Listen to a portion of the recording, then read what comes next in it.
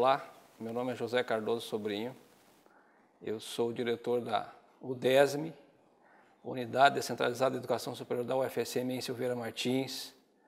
Esse campus ele foi criado pelo Reúne em 2008, começaram os trâmites em junho, e em setembro ele foi aprovado no CEP. Foram criados inicialmente gestão ambiental, agronegócio, turismo e processos gerenciais.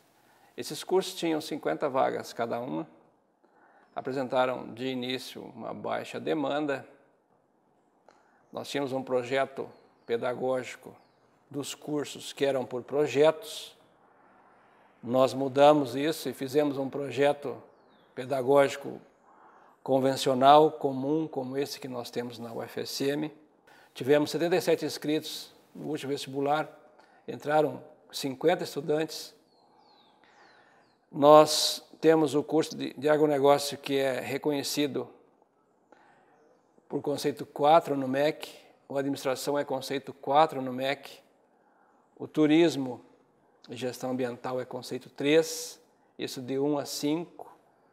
Nós estamos passando agora por um recredenciamento do curso de agronegócio e turismo.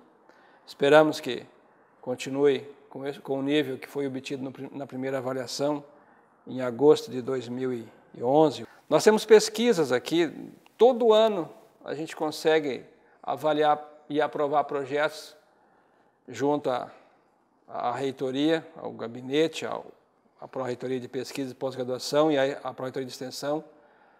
Os professores daqui que pedem projeto de pesquisa ou extensão, quase todos conseguem aprovar.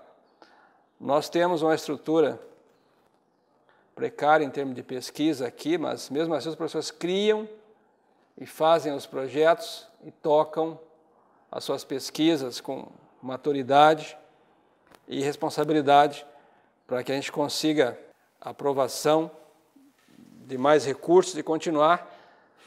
Agora, no próximo ano, nós temos entrada em administração, agronegócio, turismo e ambiental, o reingresso na no turismo e no agronegócio foram cerca de 10 alunos para cada um para entrar agora em março.